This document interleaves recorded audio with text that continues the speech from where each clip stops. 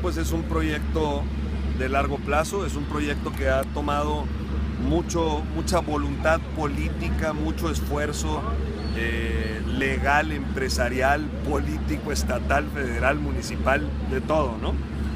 Para poder realmente dejar constituido un fideicomiso que tenga una continuidad lo suficientemente eh, amplia para poder regenerar el centro histórico. Cuando hablamos de regenerar el centro histórico, pues no hablamos de algo que vaya a suceder en, en tres meses, ¿no? Esto es fideicomiso de 25 años. Entonces, ¿qué es lo que buscamos? Buscamos la regeneración del centro histórico y se está trabajando bien duro en esto.